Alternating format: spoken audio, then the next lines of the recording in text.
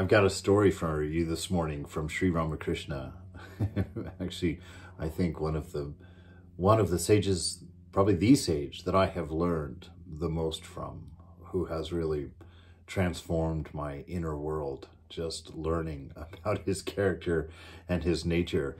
A very fun-loving sage, just full of life and full of surprise when you read about his life and the things that he tried and experimented with uh, to become what he ended up becoming, that realized divine self.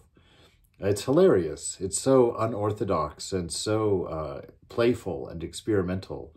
There's a book called The Great Master, uh, written by Swami Sharadananda, that kind of follows his sadhana, his spiritual practice. And, you know, he practiced being the handmaiden of God, dressed as a woman for six months. He lived in a tree so he could do the practice of Hanuman's uh, great devotion to Rama and uh, just just such an adventurous uh, soul. There was no limit to what he would do to to uh, find the divine, to to suss out his divine nature.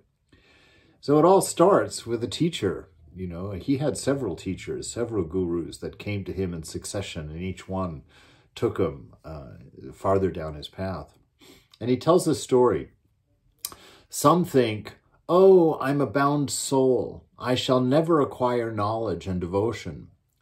But if one receives the Guru's grace, one has nothing to fear. Once a tigress attacked a flock of goats. As she sprang on her prey, she gave birth to a cub and died. The cub grew up in the company of the goats.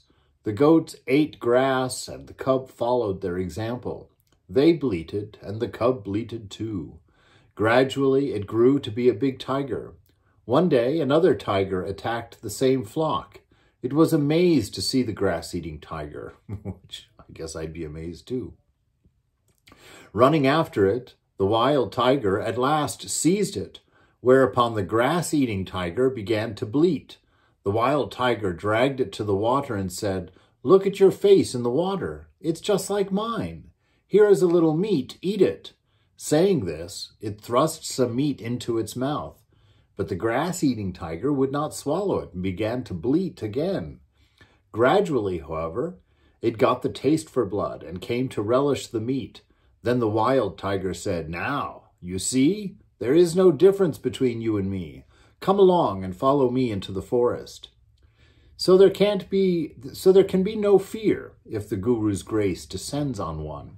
He will let you know who you are and what your real nature is. If the devotee practices spiritual discipline a little, the Guru explains everything to him. Then the disciple understands for himself what is real and what is unreal.